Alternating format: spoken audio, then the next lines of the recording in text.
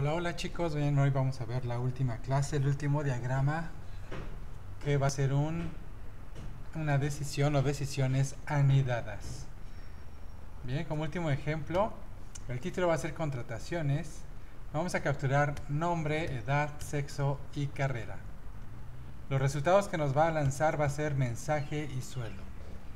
Para que sea aceptada y con un sueldo de 5 mil pesos, debe cumplir los siguientes requisitos. 1.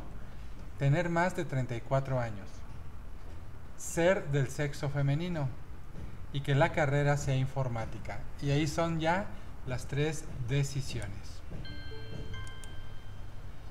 Bien, lo primero y como siempre, vamos a crear el inicio, contrataciones, y vamos a capturar en un teclado nombre, edad, sexo, aquí es signo de pesos, carrera.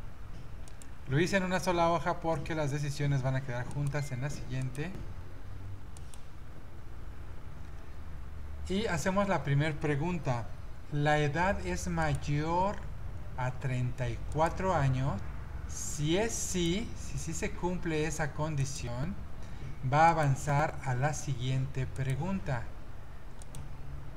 ¿Cuál es la siguiente pregunta?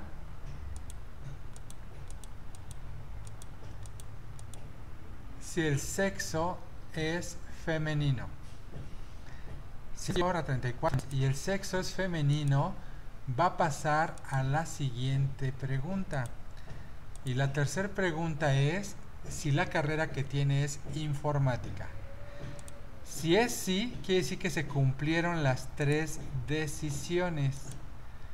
Al cumplirse las tres decisiones, ¿qué va a pasar? Le vamos a decir que es aceptada y le vamos a poner un sueldo de 5 mil pesos. De aquí se va, se colocan en pantalla mensaje y sueldo y se termina. Pero si pasa por aquí me dice, la edad es mayor a 34, si es no, automáticamente termina. Si sí es mayor a 34, pero es masculino, automáticamente se viene para acá y termina.